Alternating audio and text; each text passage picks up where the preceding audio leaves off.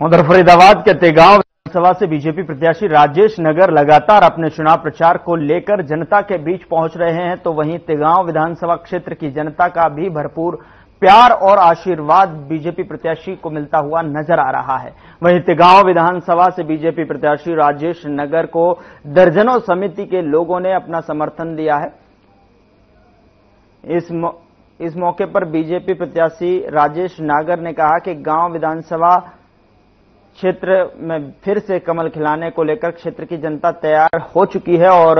आने वाले विधानसभा चुनाव में इस बार भी विधानसभा क्षेत्र से कमल खिलेगा।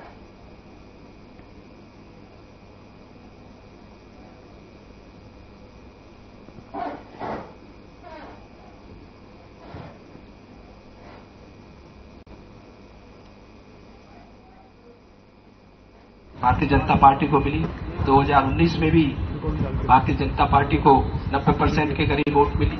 और इस बार, जैसा आपने 2019 के चुनाव में अपने इस साथी को, अपने इस भाई को, अपने इस बेटे को, हरियाणा में 90 विधानसभा क्षेत्र आते हैं, सबसे ज़्यादा अगर वोट, सबसे ज़्यादा मत किसी विधानसभा को मिले, तिगांव विधानसभा को मिले, उसका मैं आपके उसके लिए मैं आपका तय से धन्यवाद भी करता हूँ, आभार भी प्रकट करता हूँ और हमेशा उसके लिए ऋणी रहूँ।